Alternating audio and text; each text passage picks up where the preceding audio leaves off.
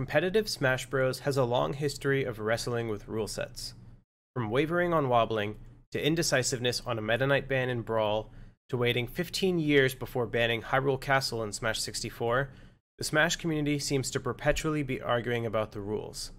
In this video, I will take a deep dive into the nature of rule sets and why Smash needs a rule set overhaul.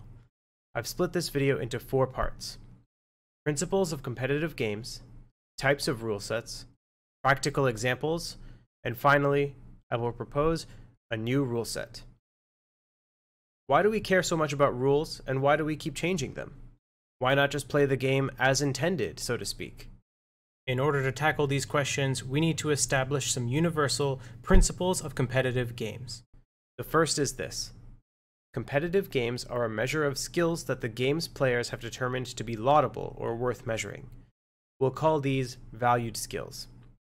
This principle applies to all competitive games, not just esports. Chess measures positioning, calculation, and attacking and defending with your arsenal of pieces. Darts measures your ability to throw a dart at a board with both accuracy and precision. Baseball measures pitching, hitting, fielding, and running. It's tricky to nail down exactly what a game's valued skills are in so many words, but quite easy to say what a game's valued skills are not. In tennis, for example, rackets must adhere to certain size regulations. If a racket were 10 feet long, you would eliminate both positioning and agility as skills required to win. Instead, you could stand in the middle of the court and reach the ball from anywhere. That certainly would not be a valued skill. And this leads me to the next universal principle of competitive games. The rules of a game are set up in such a way that the valued skills are rewarded. In other words, rules are designed such that the valued skills are the best and most consistent ways to win a game. As the meta develops in any game, strategies change, and the game begins to look different. In these cases, either the valued skills change at their roots, or the rules are modified in order to preserve the valued skills as the most viable path to victory. Which of these paths a game takes is arbitrary at the end of the day, but ultimately it comes down to what the game's players value. The shot clock in basketball is a common example of this, as it eliminates running away with a lead as a viable win condition. Instead, passing, positioning, shooting, and making plays are emphasized as the skills you need to win.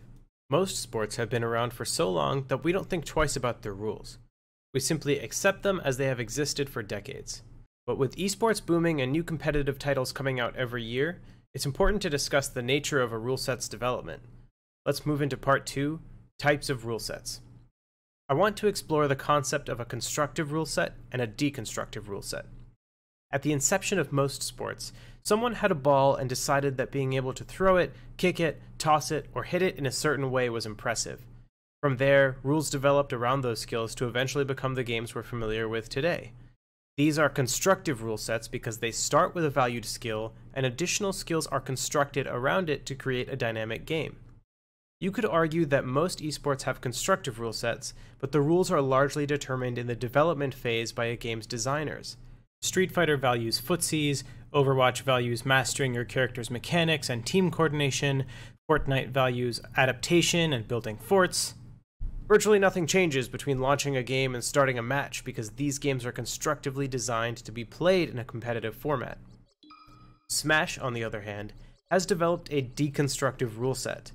Rather than starting with a concept of valued skills and building rules around that, Smash experiences a slow removal or alteration of game elements over the course of many years.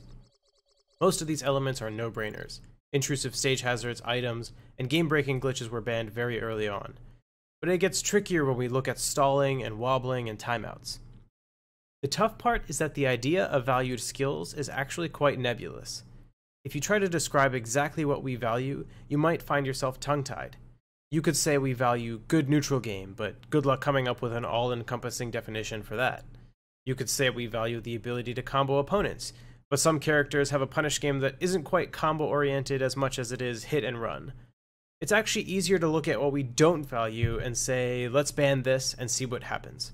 And that's what we've done. Stalling has been declared illegal in Smash for many years, but has never been clearly defined in the rules.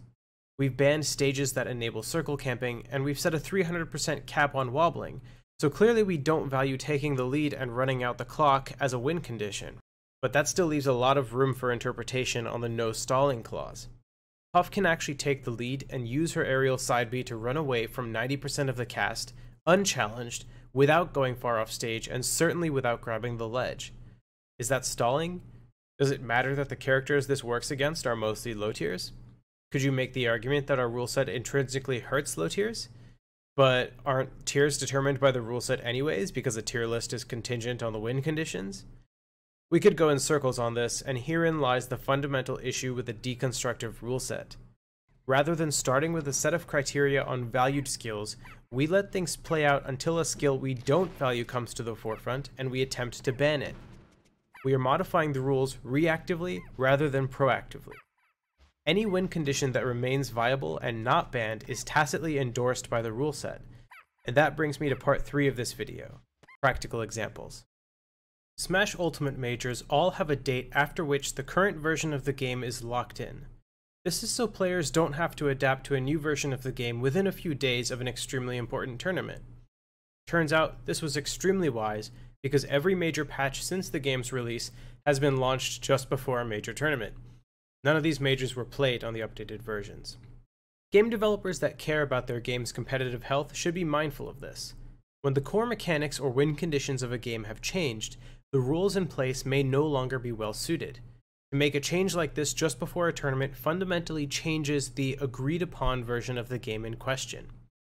In Fortnite, for example, when a new item is introduced soon before a new tournament, you cannot compare it to inclement weather because it's not always as simple as adapting to an element in the game. It's a fundamental alteration to the game itself. It would be more like replacing a basketball with a volleyball. If one team wins after switching out the balls, is the winner still the superior basketball team? Are you even playing basketball at that point? Even minor changes fundamentally shift how a valued skill is manifested. If the Earth's density changed and gravity became stronger or weaker, do we care who would win a tennis match two weeks from now? No, because that game is no longer what tennis players have determined tennis to be. Of course, games change over time, but ample time needs to pass for the game to stabilize before we can confidently say, this is still our game. Let's take wobbling as a case study. Defensive counterplay while being hit is a characteristic unique to Smash. It's called Directional Influence, or DI, and is performed by holding your analog stick in a certain direction to influence the trajectory your character is sent after being hit. There are many variations, such as SDI and ASDI, but we'll keep it simple for now. You can utilize DI to avoid standard combos by holding away, so that it's more difficult for moves to link together. On the other hand, as an aggressor, you have to mix up how you attack your opponent in order to counteract their DI. You do this by mixing in different moves, strong and weak hitboxes, and even your angle of attack. Concisely put, competitive Smash players value that each and every hit in Melee is a two-sided interaction. This is where wobbling falls short.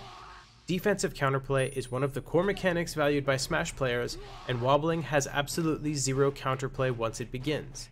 Even Puff's rest can be DI'd, not to mention the fact that it's a very high risk move. Most highly rewarding punishes are offset by either high risk, high difficulty in execution, or both. The biggest risk with wobbling is missing a grab, and wobbling is extremely easy to perform. So where do we draw the line? Does it matter that ices are only high tier and not top tier? Or is the only thing that matters that wobbling falls clearly outside the lines of what we value as competitive Smash players? Let's imagine a world where rather than slowly removing elements from a game that was not meant to be played competitively, we actually start from the ground up. A constructive rule set for Smash. Super Smash Bros. Ultimate is in a stronger position than any other Smash game to make this a reality thanks to the huge selection of stages, rule customizations, and the ability to turn stage hazards off. This provides a perfect opportunity to build a constructive rule set because all the assets are there for us to leverage. Even in Melee, we just make do with what we have. Players tolerate random transformations and glitches on Pokemon Stadium, plus nuisances like Wispy blowing wind and Shy Guys appearing off screen, not to mention the literal thousands of random platform combinations on Fountain of Dreams. In Ultimate, you have all of these stages and more, but in hazardless form. Unfortunately, most of the Smash Ultimate player base comes from Smash 4, so the opportunity is being squandered. This is why even now, stages like Town and City, which has moving platforms that take players all the way to the edge of the screen, aren't just considered legal, but are considered neutral. If we were to build a constructive rule set, then Ultimate could already be using a concise 6-stage frozen stage list, rather than being weighed down by cumbersome 10-stage lists and a different counterpick procedure at every tournament. You could also use this approach to tackle the frankly appalling discourse over Hero's legality, in which neither side seems capable of making a coherent argument. Ask yourself, what skills do we value in Ultimate, and what can be considered a hindrance to those skills being the best and most consistent ways to win games? If you have difficulty winning in your main game against players who use it as a side hustle, then perhaps those valued skills include randomly accessing one-hit kill moves. If you value defensive counterplay or stage positioning, or comboing, or recovery, then you might not be okay with Magic Burst. In case you want to go even further in committing to a constructive rule set, you could set up high speed and low landing lag spirits to increase the speed and combo potential in Ultimate. Many players have been experimenting with different spirit combinations to try and get the exact feel they want out of the game. Sakurai has provided all the tools, we just need to be willing to take the leap and make the game our own. But I digress. What I really want to discuss is this an actual proposition for a constructive melee rule set. Let's move into the final part of this video. I could sit here and tell you we should have a five stage list of just Battlefield, Yoshi's, Dreamland, Fountain, and FD, or I could suggest we free Stadium and make FD a counterpick. I could suggest we ban wobbling altogether to reward Ices for pulling off any number of their highly technical grab combos. I might even come up with blanket solutions to stalling with less subjective rulings, such as airtime limits and causing the opponent to lose a stock if you taunt four times in a row without taking damage. But this is just further deconstruction. Let's start from scratch. I have been carefully constructing a rule set from the ground up with feedback from several top players, and I'd like to introduce it to you now. It's called Rishi's Jungle Jam. Here are the rules. Stages, Congo Jungle. Stocks, 3. Timer, 8 minutes. Items, Starman, set to very low. Let's start with Congo Jungle. It's a narrow stage with two top platforms. The blast zones are all close to the edges of the stage, there is a barrel on a fixed timer beneath the main platform. There is a claptrap that attacks between the stage and the rock that you can see coming from the background ahead of time. There is a rock in the bottom right corner with a ledge on either side, which I will address shortly. A tall stage like this rewards high vertical mobility in order to navigate the tall platforms, and it mitigates the strength of high horizontal mobility. Camping off stage becomes extremely dangerous given the proximity to the blast zones. Camping the top platform is impossible because there are two, that you have to commit to one or the other and risk being directly above your opponent. Between the stage proportions and platform positioning, this stage provides an elegant solution to many of the problems facing modern Melee without resorting to difficult to enforce anti-stalling rules. The fact that you can pass through the main platform actually opens up a great deal of ledge options for characters that were previously limited. Peach notoriously has the worst ledge options of any high tier, but on Congo Jungle she can float through the ledge and stage, or even float to the barrel, barrel serves as a mitigator for cheesy kills beneath the stage by characters camping the rock or ledge.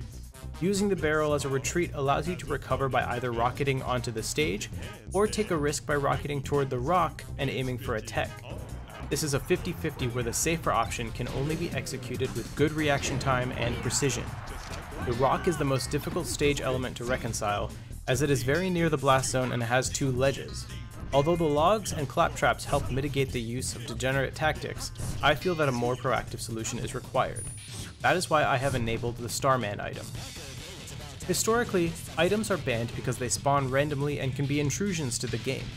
However, in Congo Jungle's case, the asymmetrical layout of the stage actually rewards players who prioritize controlling the main stage. When faced with a lame opponent who wants to force a risky mix-up on the rock, one can simply wait on the main stage for the inevitable Starman and use the invincibility to challenge the Rock Camper with no risk. This, again, encourages both players to continue playing interactively. 3 stocks keeps matches fast-paced and exciting, and 8 minutes allows a solid buffer to wait for a star if the opponent is camping. Otherwise, running the clock becomes too common. Therefore, camping the rock is not a viable win strategy in most cases. I would suggest every set be played as a best of 5 due to the fast-paced nature of the games in Rishi's Jungle Jam. In theory, games could take 8 minutes each, but this is very unlikely thanks to the Starman and small size of the stage. Although the Starman can appear randomly, what I have found is that it tends to favor the player in the lead anyways, so long as neither player is camping. It also creates an interesting stage control dynamic. When a crate or capsule spawns, you can choose to either pursue a punish, buy for the item, or even feign going for the item and punishing your opponent for trying to get there first. In any case, the player that wins the aggressive interaction and hits the opponent away will get to seize the star. Thanks to the way the platforms work, items will often fall off the platforms and into the waterfall. This is yet another way in which the Starman becomes mostly relevant in camping scenarios rather than normal on-stage gameplay. Thank you, Congo Jungle. So far, I have had great success with Rishi's Jungle Jam, but the meta is still young. I encourage you to try playing degenerately and push the boundaries of the rule set. Experiment with some alterations and provide whatever feedback you have in the comments. Thanks to the constructive philosophy behind Rishi's Jungle Jam, there's a lot of flexibility. Also, wobbling is banned. Thanks for watching.